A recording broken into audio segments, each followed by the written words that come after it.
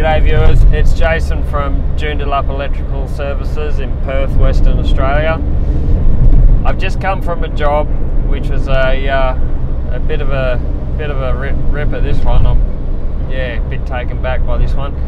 So lady rings me up and she's concerned that the solar system's not working properly. So I go out and do a, uh, a system check and a bit of a consult and um, turns out there's two kilowatts worth of solar panels which have never been plugged in on the roof. The installer forgot to plug one of the panels in between uh, the other panel. Um, so that's two kilowatts worth of solar that's been on their roof doing nothing for 10 years. The other 13 panels were fine.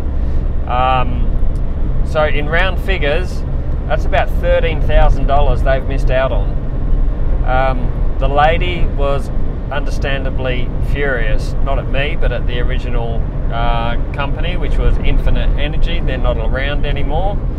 Um, but the original sales guy has just recently reached out to them for whatever reason to sell them a battery or a new system, who knows.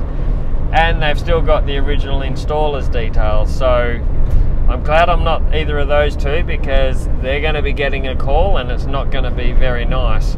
Um, yeah, simple oversights cost them 13 grand. So if you've got a solar system and you think it might be underperforming, give me a call 0412 866 428. I'll come out and uh, check it out for you and do an assessment.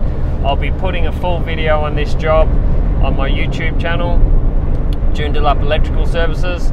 So subscribe to that, keep an eye out, and um, I'll give you some tips on uh, how to assess your own system and how to avoid it happening in the first place. Righto, cheers.